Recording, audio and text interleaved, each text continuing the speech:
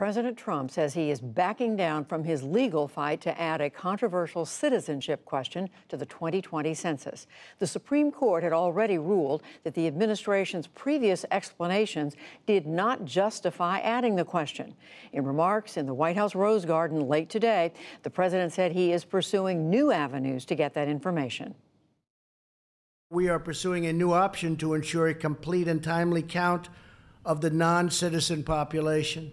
Today, I will be issuing an executive order to put this very plan into effect immediately. I am hereby ordering every department and agency in the federal government to provide the Department of Commerce with all requested records regarding the number of citizens and non citizens in our country. They must furnish all legally accessible records in their possession immediately. We will utilize these vast federal databases to gain a full, complete, and accurate count of the non citizen population, including databases maintained by the Department of Homeland Security and the Social Security Administration. We have great knowledge in many of our agencies. We will leave no stone unturned. We turn now for more to three of our NewsHour correspondents, Yamiche Alcindor, who is at the White House, plus Amna Nawaz and Lisa Desjardins here with me in the studio. Yamiche, let me come to you. The president had been, it seemed, determined to add this citizenship question one way or another to the census. Now he's back down. Why?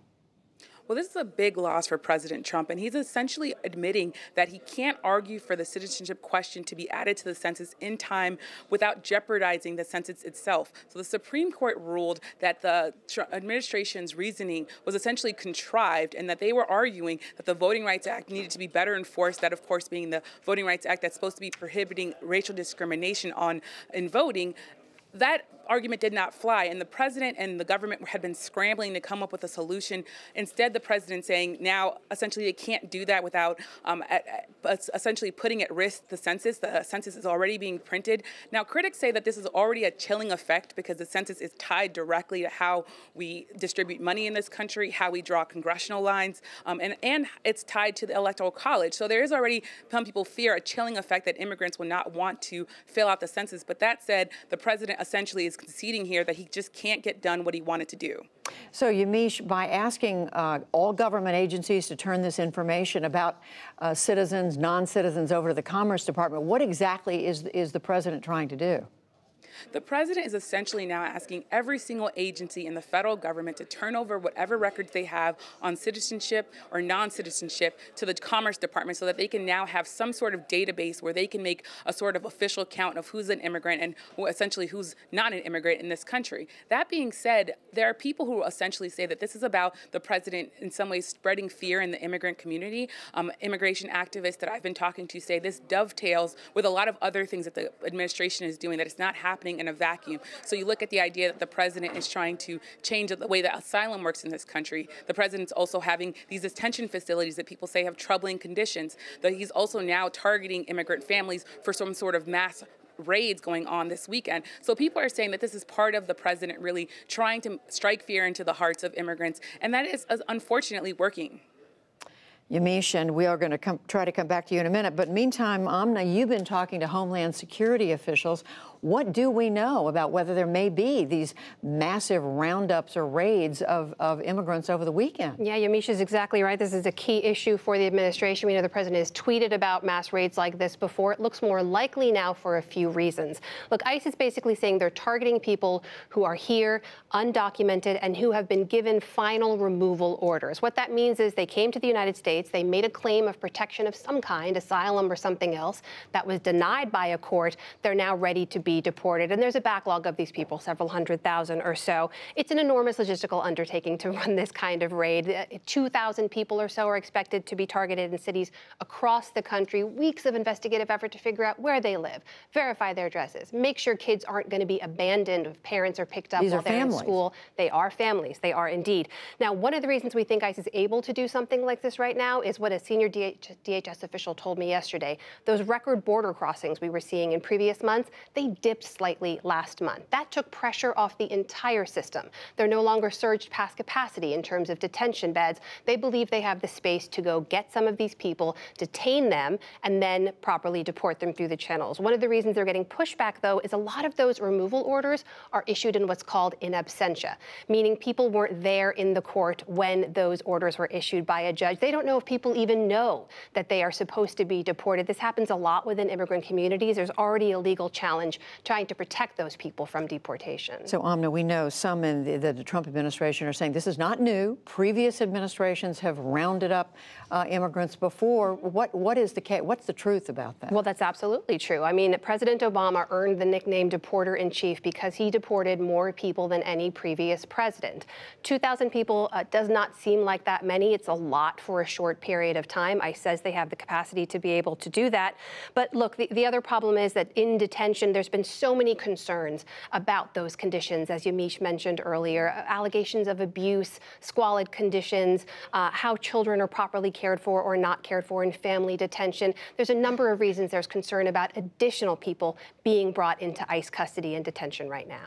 So, Lisa, let me turn to you uh, now. Uh, the, this, uh, we've, we've seen much of this before. Democrats and others in Congress are, are pushing back. What are they doing? We're seeing Democrats flex more muscle, like this is sort of phase two of how they're trying to confront this president as the opposition party. We saw just today the House Judiciary Committee uh, authorized subpoenas for 12 very high ranking current and former Trump administration officials. This inclu- includes Jared Kushner, also former campaign manager Corey Lewandowski, former chief of staff John Kelly. This is, these people can be questioned on two things. One, their relations to the Mueller report, but also, Judy, these subpoenas directly talk about the zero tolerance policy and child separation at the border. These Democrats are saying we have not gotten satisfying answers from Homeland Security or the Trump administration in terms of what it is doing, is it legal, and they will now subpoena these officials. Of course, the problem is we've seen the Trump administration, the problem for Democrats, has said they don't feel that they need to uh, comply with these subpoenas. So Democrats are also taking another step there. Next week, they have announced they will take a vote on the House floor to file criminal contempt against Attorney General Barr mm. and also uh, the Commerce Secretary Wilbur Ross for their non-compliance, in the view of the House, with subpoenas about the census question. And so this will be a very, this is kind of as close as to clear combat as you can get in a legislative sense. Now, then that goes to the courts, and this takes a long time to enforce. But Democrats are stepping things up. One other note, Judy, about these ICE raids. You and Amna hit on such a key point that I heard from Republicans today, notably. Republicans are a little nervous about these ICE raids because they are worried about in their communities, they see labor shortages. They have seen in the past large raids like this, even under Obama, affect families and communities in very difficult ways. And they are concerned about how this will be enacted. I talked to multiple Republicans. Hmm who are just unsure and worried about how this goes. They're watching very carefully. Very interesting, uh, being watched from so many different directions, as if this weren't enough uh, going on at the White House today. Yamiche, I want to come back to you because the president hosted something that the White House had talked about. This was a summit to discuss uh, social media and what is allowed and what isn't. Tell us about what took place there at that gathering. The goal of the social media summit at the White House today was really to argue that conservatives are being unfairly targeted and discriminated against by social media giants like Twitter and Facebook. Now, neither one of those companies were invited to the social media gathering. The president says he wants to invite those companies to the White House later on. But the president was essentially saying we don't want to be censored as as as Republicans, and he was saying that people that are pro-life, that are pro-Trump, their their accounts are being targeted and even being pulled down. Um, there are people, of course, that disagree with that view. There are people who say this was really a gathering of far right individuals and at times bad internet actors. Um, one person that was at the White House today was a Twitter user who uh, spread the racist idea that Senator Kamala Harris was not black enough to speak for African Americans because her mother's Indian and her father is Jamaican. So there's a lot of back and forth on this. There are a lot of people who think this was not a good gathering and that other people should have been more um, invited to this, that this should have been a more inclusive setting. So overall, there are a lot of complaints about this, but in a few weeks, there will be some social media sites coming to the White House, so that will continue to develop. And then just quickly, Amna, you've done some reporting uh, about that gathering and some of the language that was used there today. That's right. Some of those people Yamiche mentioned who may self-identify as conservative are also identified by people who track extremist or dangerous rhetoric online as alt-right or far-right or extremist kind of views. They were in the room, some of them aligned with white nationalist kind of language as well. And there was a recent study by a group called the Institute for Strategic Dialogue, which looked at how, and this is around the world, but also true here in the U.S., a lot of that language that previously existed only really on the far right fringes has become much more mainstream, particularly through the use of social media. So that was something they were watching today and a trend that they've been seeing increasing around the world, as I said, but really here in the U.S. as well. Disturbing. Uh, well, news on so many fronts today. Thank you, all three. Amna Nawaz, Lisa Desjardins, Yamiche Alcindor at the White House. Thank you. Thanks.